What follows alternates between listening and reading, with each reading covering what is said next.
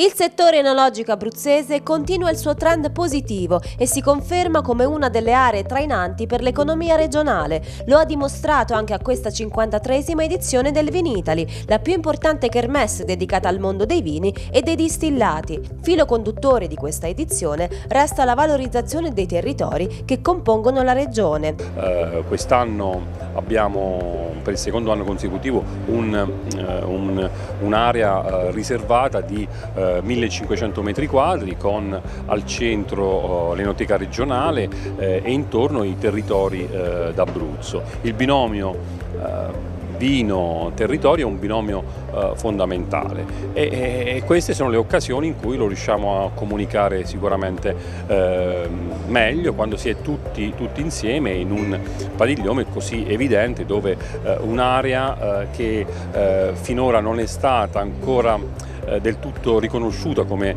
area a vocazione vitivinicola eh, sta, sta, crescendo e sta affermandosi sempre di più. Qui al Vinitali abbiamo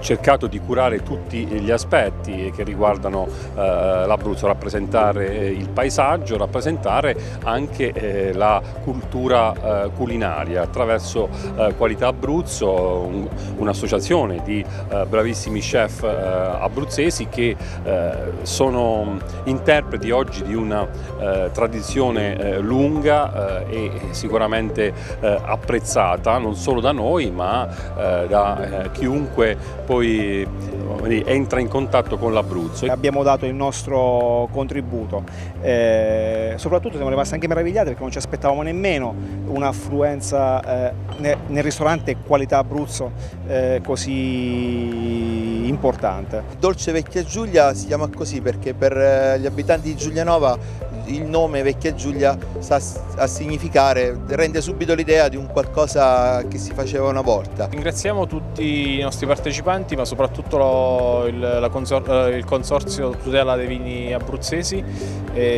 la Scuola Alberghiera di Teramo e tutti i nostri aiutanti che ci hanno dato una mano a far riuscire questa giornata bellissima a tutti gli chef e a tutte le cantine che hanno partecipato a questo evento di questa giornata.